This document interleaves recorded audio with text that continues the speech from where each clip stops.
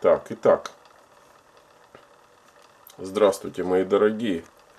Это я. Сижу, жду, когда загрузится кино. Боюсь, что его стереть могут. Сегодняшний тест фрактализаторов. И вот случайно от скуки забрел я на сундук. Это вот такой форум, скупленный Чернов Аудио, который втюхивает лапшу на уши. Ну и там плащ Ярославны. Почему? На этом форуме я, кстати, забанен. Давно уже.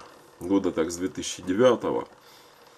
И вот вопрос, значит, да, вот дебильный такой вопрос, почему российский хай не продают в магазинах салонов. Кстати, когда у меня была фирма, когда я там продвигал свою продукцию, в 2009, в начале 2010 перебывала куча фирмачей.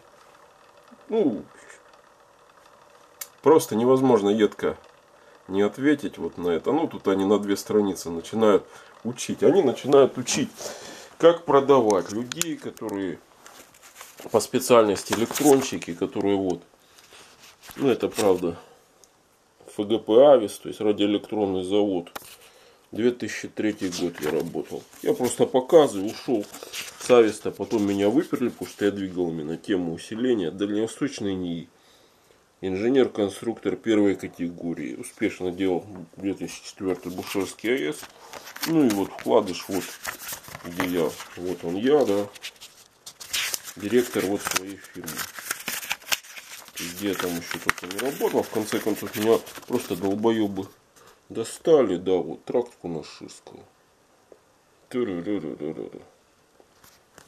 Вот, в 2011 ее я закрыл, потому что достали меня налогами, вот такие вот дебилы, московские продаваны, которые просят за то, что техника у них оказывается на полке. Вместо того, чтобы продавать, они просят, то есть трудиться, они просят у меня деньги за продажи. То есть это я должен их кормить, не они заниматься трудом, да, зарабатывать свою маржу, а должен я их кормить. Ложечку им должен принести. Ну и плюс всякая критика там по, про внешний вид, там про все вот это вот здесь. То есть вот прекрасный корпус от Такаши японский. Начинаются наезды. Вот он, вот слышно, да, звенит он. Ах, такие кривые корпуса. Видите, он с дюральки шикарный. Экранирует все, сделан. Весит немало. То есть привезти его. Вот сейчас я сталкиваюсь с Китая, что-то заказываешь. Вот посылку, допустим, вот к этому 10 дней ее нет. Пустяковая вещь, но без нее я собрать не могу. Станок. Вот. А когда я с Японии привозил корпуса, прекрасные ножки, те же японские, все нулевое, все. Никто по... Ой, дорого, тысячу баксов стоит виниловый корректор, нос все воротят. Это корректор с полностью немецкий, японский, американский комплектующий. Ничегошеньки китайского вообще нет. Все фирменное, идеальное. Маржа моя была, я выпускал виниловые корректоры. Практически я делал 10%. То есть 900, 850 долларов обходились детали, доставка, поездка. И я его продавал за 1000 долларов. Иногда дешевле, 950.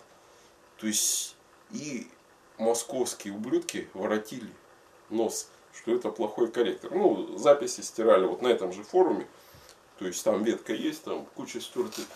Вот, значит, входной корректор живого звука. Самый дешманский вариант, блин. Пролетарский за 500 баксов сейчас. Тогда он был дороже, но сейчас он, их уже сейчас осталось там штуки три у меня валяются. Тоже самое.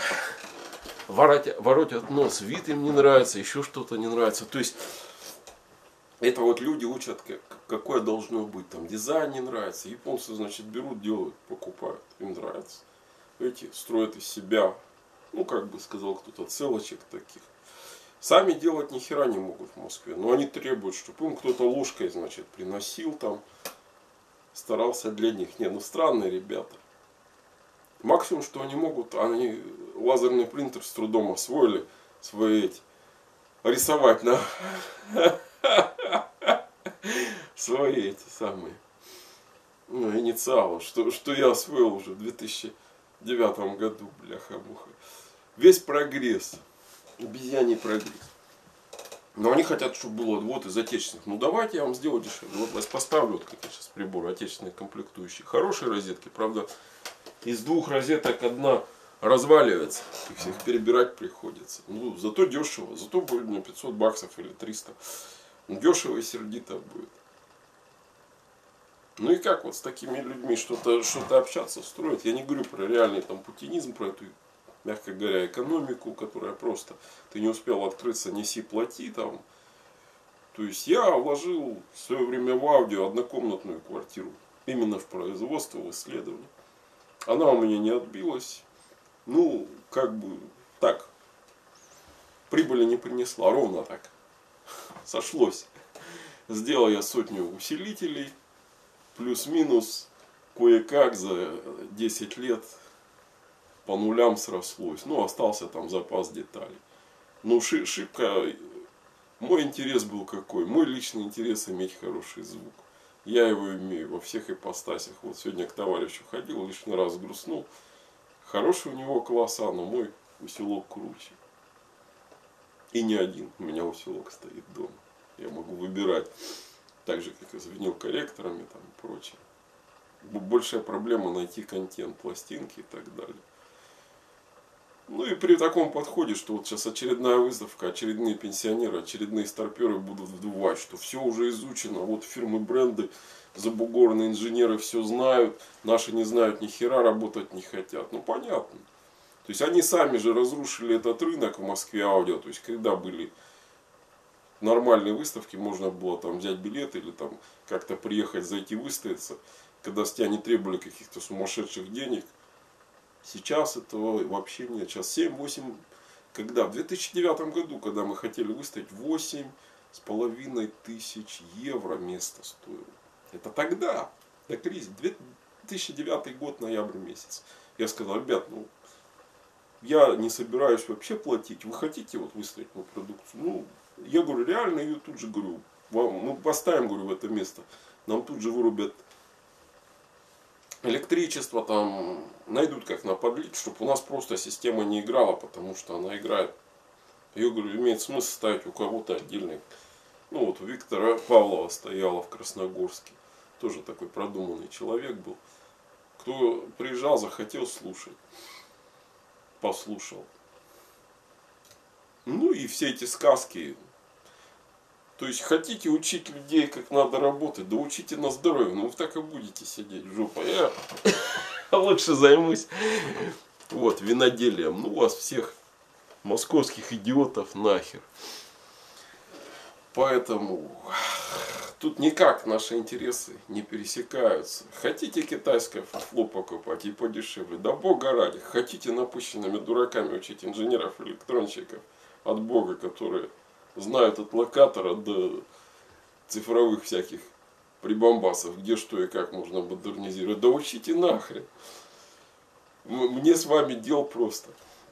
Ну, а всем людям, еще раз говорю, кто интересуется реальным, что все это форумы купленные, рекламное разводилово, это все винегратизм. Вот у меня сейчас лежит 45 усилителей но я к ним не могу купить корпуса, потому что и блоки питания, потому что это охрененные деньги. Корпус 500 баксов, бляха, и блок питания еще 500. То есть это я должен что, 50 тысяч баксов куда-то запендюрить, да, с неизвестной отдачей, когда будешь, чтобы потом послать каким-то московским уродам этот аппарат в салон, они его там раздолбят, поломаются, жгут, будут ковыряться внутри, почему он так круто играет, и мне пришлют сгоревший, скажут, блядь, он сгорел, он это тот, ребят, ну я похож на идиота. Я, у меня странные фильмы, но на идиота я не похож. Поэтому до свидания. Помаши маме ручкой. Вот такие вот дела, Хэнди. Такая правда.